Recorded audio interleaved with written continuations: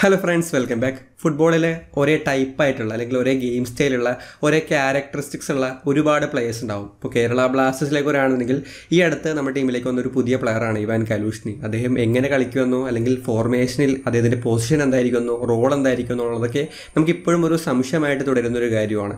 ഇതേ ഇവാൻ കലൂഷ്നിയെ പോലെ തന്നെ കളിക്കുന്ന അതേ ക്യാരക്ടറിസ്റ്റിക്സ് ഉള്ള ഗെയിം സ്റ്റൈലിൽ കളിക്കുന്ന ഒരു പ്ലെയറിനെ ഈ അടുത്ത് ഡ്യൂറൻ കപ്പിലെ ഒരു മാച്ചിൽ Hyderabad F C TRAU F C മാച്ചിൽ കാണാൻ സാധിച്ചു. ഹൈദരാബാദ് എഫ് സിയുടെ വിദേശ താരമായിട്ടുള്ള ബോർഹ ഹെരേര ഗോൺസാലസ്. ഈ ഒരു പ്ലെയറിന്റെ ആ ഒരു പൊസിഷനിങ്ങും കളി രീതിയും റോൾസ് ഒക്കെ നമ്മൾ നോക്കുകയാണെങ്കിൽ ഇവാൻ കലൂഷ്ണിയെ കഴിഞ്ഞ സീസണിൽ അദ്ദേഹം കളിച്ച ടീമിൽ ഉപയോഗിച്ചതുപോലെ തന്നെയാണ് ഈ ഒരു പ്ലെയറിനെ ഉപയോഗിച്ചിട്ടുള്ളത്.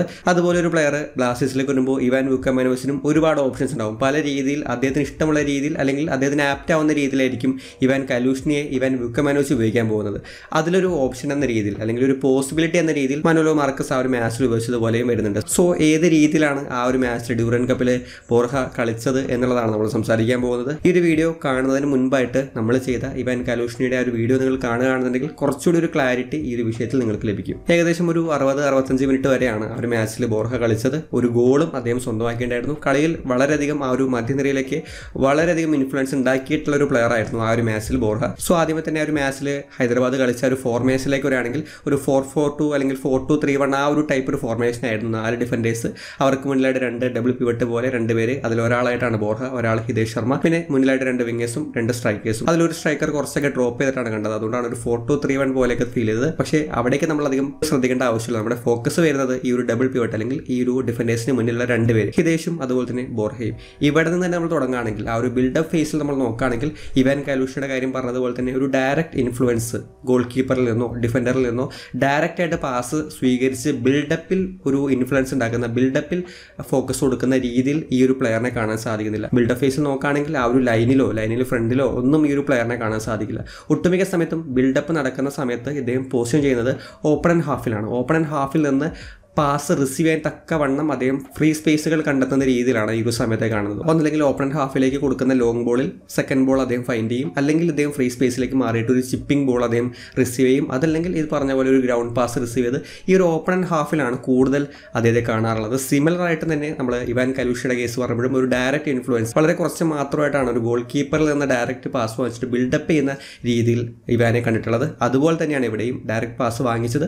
വളരെ കുറച്ച് മാത്രമായിട്ടാണ്. ഈ വാങ്ങിച്ചാൽ തന്നെ വളരെ പെട്ടെന്ന് പാസ് കൊടുത്തിട്ട് ഓപ്പൺ ഹാഫിലേക്ക് പോകുന്നുണ്ട്. സോ ഇത്തരത്തിൽ ഒരു നോർമൽ നമ്പർ എയ്റ്റിനേക്കാൾ കൂടുതൽ അഡ്വാൻസ്ഡ് ആയിട്ട് ബിൽഡപ്പ് ഫേസിൽ പോസ്റ്റ് ചെയ്യുന്നതാണ് ഏറ്റവും പ്രധാനപ്പെട്ട ഒരു ഹൈലൈറ്റ് എന്ന് പറയുന്നത് ഇവിടെ പൊസിഷനിങ്ങിൽ ഇനി ഇത്തരത്തിൽ ആ ഒരു ബോൾ റിസീവ് ചെയ്തതിന് ശേഷമുള്ള ഒരു പ്ലെയറിന്റെ ഡ്യൂട്ടീസ് ആണ്.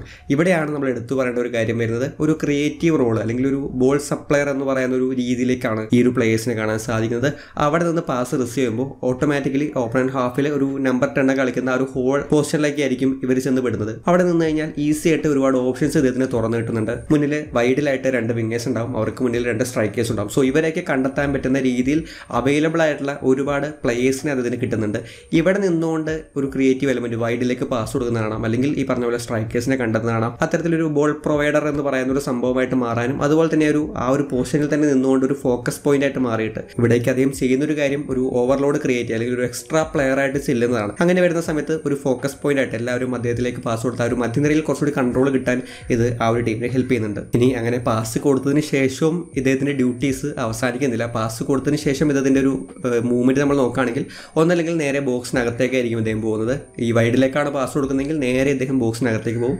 അവിടെ നിന്നൊരു ക്രോസ് റിസീവ് ചെയ്യാൻ പാകത്തിന് അദ്ദേഹം പോസ്റ്റ് ചെയ്യുന്നതാണ് ഇനി അതല്ലെങ്കിൽ ഈ പറഞ്ഞ പോലെ കുറച്ചുകൂടി ഡ്രോപ്പ് ചെയ്തിട്ടാണ് അദ്ദേഹം പാസ് കൊടുക്കുന്നതെങ്കിൽ ഇദ്ദേഹം നേരെ വൈഡിലേക്ക് പോയി. ഒരു വിങ്ങർ റോളിലേക്ക് പോകുന്നതായിട്ട് കാണാം. ഒരു വൈഡിൽ അദ്ദേഹം സ്പേസ് ഫ്രീ സ്പേസ് കണ്ടെത്തിയിട്ട് ആ ഫ്രീ സ്പേസിൽ പോയി നിന്നിട്ട് പാസ് റിസീവ് ചെയ്യാൻ പാകത്തിന് കാണാം. സോ അവർക്ക് അനുവദിച്ചിട്ടുള്ള ആ ഒരു ഏരിയ വിട്ടിട്ട് കുറച്ചുകൂടി മുന്നോട്ട് പോകാനോ സൈഡിലേക്ക് പോകാനോ ഒന്നും പേടിയില്ലാത്ത തരത്തിൽ ഈ ഒരു പ്ലെയറിനെ കാണാൻ സാധിക്കുന്നുണ്ട്. സിമിലർ ആയിട്ട് ഇവാൻ കരൂഷിനിയുടെ മാച്ചിനെ പറ്റി സംസാരിച്ചപ്പോഴും അവിടെയും അതേപോലെ തന്നെ ആ ഒരു പൊസിഷൻ വിട്ടു പോകുന്ന പൊസിഷൻ വിട്ട് മുന്നോട്ടും അഡ്വാൻസ് ചെയ്തും വൈഡിലേക്കൊക്കെ പോകുന്ന ഇവാൻ കലൂഷിനെ നമ്മൾ കണ്ടിരുന്നു. ഇനി ഇതിന് പുറമെ കാണാൻ സാധിച്ചൊരു കാര്യം ആ ഒരു ബോളിനനുസരിച്ച് ബോൾ എവിടെയാണുള്ളത് ആ ബോളിന് പാരലായിട്ട് പോസ്റ്റ് ചെയ്യുന്ന ഒരു രീതിയാണ്. ഇപ്പോൾ ബോൾ ഓപ്പൺ ഹാഫിലാണെങ്കിൽ ഈ ഒരു പ്ലെയർ ഓപ്പൺ ഹാഫിലുണ്ടാവും ബോൾ ഓൺ ഹാഫിലാണെങ്കിൽ ഓൺ ഹാഫിലുണ്ടാവും ഇത് തന്നെയാണ് നമ്മൾ ഇവാന്റെ കാര്യത്തിലും പറഞ്ഞത്. ഒരു കളം നിറഞ്ഞ് കളിക്കുന്ന ഒരു പ്ലെയറാണ് ബോൾ എവിടെയുണ്ടോ അവിടെ ഉണ്ടാവും ഈ ഒരു പ്ലെയർ അതിനനുസരിച്ച് പോസ്റ്റ് ചെയ്യുന്ന ബോളിനനുസരിച്ച് പാരലായിട്ട് പോസ്റ്റിനെ അഡ്ജസ്റ്റ് ചെയ്യുന്ന പാസുകൾ റിസീവ് ചെയ്യുന്ന ബ്ലോക്കുകൾ കൊടുക്കുന്ന ഡിഫൻസീവിലും ഒഫൻസീവിലും കോൺട്രിബ്യൂട്ട് ചെയ്യുന്ന തരത്തിൽ തന്നെയാണ് ബോർഹയും ഈ ഒരു മാച്ച് കാണാൻ സാധിച്ചത്. അതുപോലെ തന്നെ ഈ ഒരു ട്രാൻസിഷൻ ആ ഒരു കൗണ്ടറൊക്കെ വരുന്ന സമയത്ത് ആ ഒരു ബോൾ പോകുന്നതിനനുസരിച്ച് തന്നെ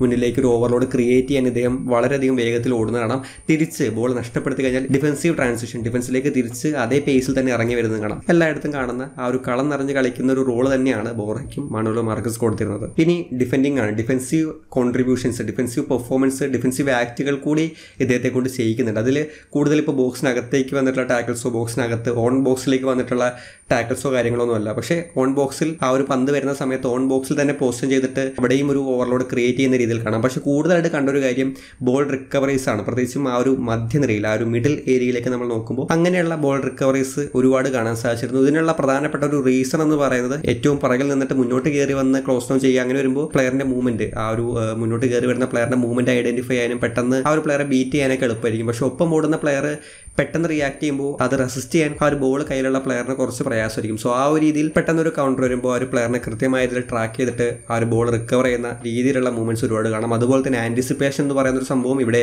വളരെയധികം ഇമ്പോർട്ടന്റ് ആയിട്ടുള്ള ഒരു കാര്യമാണ്. ഇതുപോലെ തന്നെ ആ ഒരു പ്ലെയറിനെ ട്രാക്ക് ചെയ്ത് ട്രാക്ക് ചെയ്ത് ഇറങ്ങി വരുമ്പോൾ ആ ഒരു പ്ലെയറിലേക്കുള്ള പാസ് മുൻകൂട്ടി കണ്ടുകൊണ്ട് ഇന്റർസെപ്റ്റ് ചെയ്യുന്ന അത്തരത്തിലുള്ള ഇന്റർസെപ്ഷൻസ് ആയാലും ബോൾ റിക്കവറീസ് ആയാലും കൂടുതൽ കണ്ടത് ഈ ഒരു മധ്യനിരയിൽ വെച്ചിട്ടാണ് ഒരു സെൻട്രൽ സർക്കിൾ ഏരിയയിൽ വെച്ചിട്ടാണ്. അങ്ങനെ റിക്കവർ ചെയ്ത് കഴിഞ്ഞാൽ ഇന്റർസെപ്റ്റ് ചെയ്ത് കഴിഞ്ഞാൽ അദ്ദേഹം തന്നെ ആ ഒരു ബോൾ ക്യാരി ചെയ്ത് അത് വീണ്ടും ഒരു അറ്റാക്ക് ആക്കി ഒരു കൗണ്ടർ അറ്റാക്ക് ആക്കി മാറ്റാനും അദ്ദേഹത്തിന് സാധിക്കുന്നുണ്ട്. സോ വിത്ത് ബോൾ കംഫർട്ടബിൾ ആയിട്ടുള്ള അതോടൊപ്പം തന്നെ ഡിഫൻസീവ് ആക്റ്റുകൾ കൂടി പെർഫോം ചെയ്യാൻ പറ്റുന്ന അതിനോടൊപ്പം തന്നെ ഡിഫൻസീവ് അവയർനെസ് പ്ലേയേഴ്സ് എവിടേക്കാണ് നിൽക്കുന്നത് അതിനെപ്പറ്റിയുള്ള കൃത്യമായ രീതിയിലുള്ള ഒരു അവയർനെസ്സും അതുപോലെ തന്നെ ആന്റിസിപ്പേഷൻ തുടങ്ങിയ കീ ഫാക്ടേഴ്സും ഇത്തരത്തിൽ കളിക്കുമ്പോൾ പ്ലേയേഴ്സിന് ആവശ്യമാണ്. അത്തരത്തിലുള്ള മൂവ്മെന്റ്സും നമ്മൾ ഇവാൻ കലൂഷ്നിയിലും കണ്ടിട്ടുണ്ട്. പിന്നെ മറ്റൊരു സംഭവം കൂടിയുണ്ട്. ലോങ് റേഞ്ചേഴ്സ് ആണത്. ആ ഒരു മാച്ചിൽ അദ്ദേഹം ഒരു ഗോൾ കൂടി സ്കോർ ചെയ്തു എന്ന് പറഞ്ഞിരുന്നു.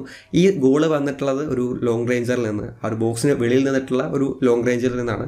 അതിന് മുൻപ് ആ ഒരു ഗോൾ നേടുന്നതിന് മുൻപേ തന്നെ അദ്ദേഹം മറ്റൊരു ലോങ് റേഞ്ചറിനും കൂടി ശ്രമിക്കുന്നുണ്ട്. കൂടുതലും ഇവർക്ക് കിട്ടുന്ന ചാൻസുകൾ എന്ന് പറയുന്നത് സെക്കൻഡ് ബോളുകൾ അല്ലെങ്കിൽ ഈ പറഞ്ഞതുപോലെ മധ്യനിരയിൽ ഒരു ഫോക്കസ് പോയിന്റ് ആയിട്ട് നിൽക്കുമ്പോൾ അവിടെ കിട്ടുന്ന ബോളുകൾ കൊണ്ട് ലോങ് റേഞ്ചേഴ്സ് എടുക്കാൻ പറ്റുന്ന അവിടെ ഒരു സ്പേസ് ഒക്കെ ചിലപ്പോൾ തുറന്നു കിട്ടും. ആ ഒരു സ്പേസുകൾ യൂട്ടിലൈസ് ചെയ്തിട്ട് ലോങ് റേഞ്ചേഴ്സ് എടുക്കുന്ന ഒരു കാര്യമാണ്. സോ ആ ഒരു എബിലിറ്റി കൂടി ഉണ്ടെങ്കിൽ ഗോൾ സ്കോറിംഗിന്റെ കാര്യത്തിലേക്ക് വരുമ്പോഴും കുറച്ചുകൂടി ഒരു എഫക്റ്റീവ് ആയിട്ട് ആ ഒരു പ്ലെയറിനെ ഉപയോഗിക്കാൻ പറ്റും. സോ ടോട്ടലി പറയുകയാണെങ്കിൽ നമ്മൾ ഇവാൻ കാലൂസിനിൽ പറഞ്ഞ അതേ തരത്തിലുള്ള ക്വാളിറ്റീസും അതേ തരത്തിലുള്ള മൂവ്മെന്റ്സും സിമിലർ ആയിട്ട് അതേ എക്സാക്റ്റ് ആയിട്ടുള്ള രീതിയിൽ ഇദ്ദേഹത്തിലും കാണാൻ സാധിക്കുന്നുണ്ട്. ഇവാൻ കാലൂസിനെ ഉപയോഗിക്കുകയാണെന്നുണ്ടെങ്കിൽ ഇതൊരു ഓപ്ഷൻ ആണെന്ന് മാത്രം ഒരു പോസിബിലിറ്റി ഉണ്ട് അത് നിങ്ങളിലേക്ക് എത്തിക്കുക എന്നുള്ളതായിരുന്നു ഈ ഒരു വീഡിയോയുടെ പ്രധാനപ്പെട്ട ലക്ഷ്യം. അതുപോലെ തന്നെ നമ്മൾ മനസ്സിലാക്കിയിരിക്കേണ്ട മറ്റൊരു കാര്യം കൂടി ഉണ്ട്. ഇപ്പോൾ ബിൽഡപ്പിലൊക്കെ ഓപ്പൺ ഹാഫിൽ പോസ്റ്റിംഗ് ചെയ്യുക എന്ന് പറയുമ്പോൾ ഒരു ഹൈ പ്രസിംഗ് ടീമുകൾക്കെതിരെ കളിക്കുമ്പോൾ അത് അത്ര ആപ്റ്റ് ആവണമെന്നില്ല. ഹൈ പ്രസിംഗ് ടീമുകൾക്കെതിരെ കളിക്കുമ്പോൾ ഓപ്പൺ ഹാഫിൽ കുറച്ചുകൂടി ഒരു ഓവർലോഡ് വരാൻ വേണ്ടിയിട്ട് അവിടെ ബിൽഡപ്പിൽ ഇൻഫ്ലുവൻസ് ചെയ്യുന്ന രീതിയിൽ തന്നെ ഡബിൾ പിവറ്റിന് ഉപയോഗിക്കാറുണ്ട് സോ ടാക്ടിക്കലി ഓപ്പണൻസിനനുസരിച്ച് ഓപ്പണൻസിന്റെ കളി രീതിക്ക് അനുസരിച്ചും ഇതിൽ വേരിയേഷൻസ് വരാൻ ചെയ്യാം എന്തായാലും വരും സീസണിൽ കേരള ബ്ലാസ്റ്റേഴ്സിൽ ഇവാൻ കാലൂഷിനിക്ക് ഒരു വലിയ ഇൻഫ്ലുവൻസ് ഉണ്ടാക്കാൻ സാധിക്കും എന്ന് തന്നെയാണ് പ്രതീക്ഷിക്കുന്നത്. ഈ ഒരു ടോപ്പിക്കിനെ പറ്റിയുള്ള നിങ്ങളുടെ അഭിപ്രായങ്ങൾ തീർച്ചയായിട്ടും